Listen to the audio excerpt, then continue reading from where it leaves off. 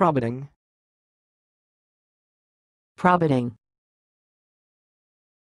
profiting. Thanks for watching. Please subscribe to our videos on YouTube.